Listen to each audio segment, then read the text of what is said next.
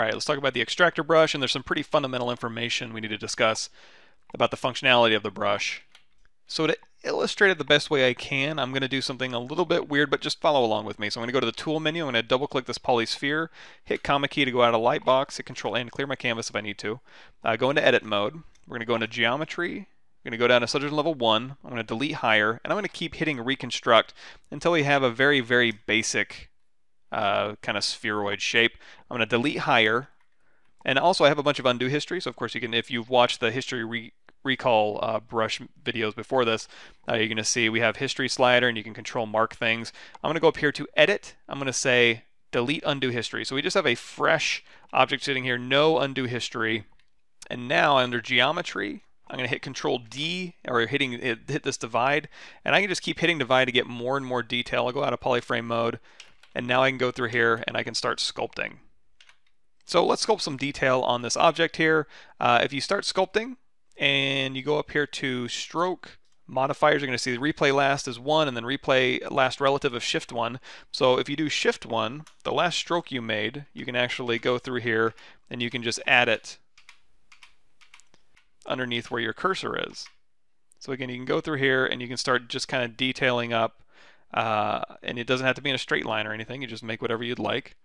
And now since we're talking about the extractor brush, you're probably thinking, Let's go ahead and extract this detail off. And you may have even seen YouTube videos on this. So if we go to B, X, T, it's going to grab our extractor brush, and just by its default, the extractor brush is just a brush. It's literally just a brush with some settings that make it more compatible with using extracted alphas to roll across your surface. In fact, if you want to skip ahead, stroll, uh, underneath stroke, you can have roll and then roll distance. These things are turned on, basically, along with a couple other uh, features. But uh, in order to have this work effectively, we need an alpha. And of course, you can load any alpha in here and you can, you know, if you take this star alpha, you can actually roll that star alpha. Uh, but since the extractor brush, you want to extract detail with this. So how do we get this detail into this alpha so the extractor brush can roll it?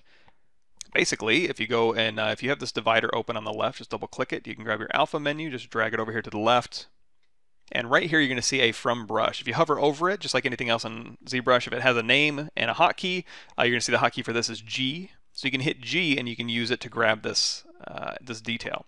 Uh, now, my brush is pretty small, so as I go over this, you're going to see it doesn't. It's not quite wide enough to pick it up. So I'm going to tap S on my keyboard and just make my brush size big enough to kind of capture all of this.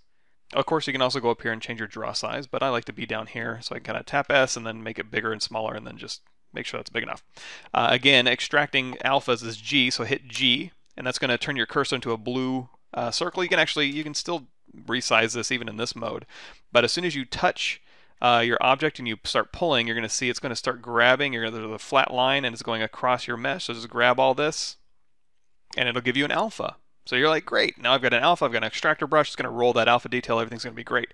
Then you start using it, and you're like, what is going on? You can kind of see the alpha, but it's kind of doing something really weird.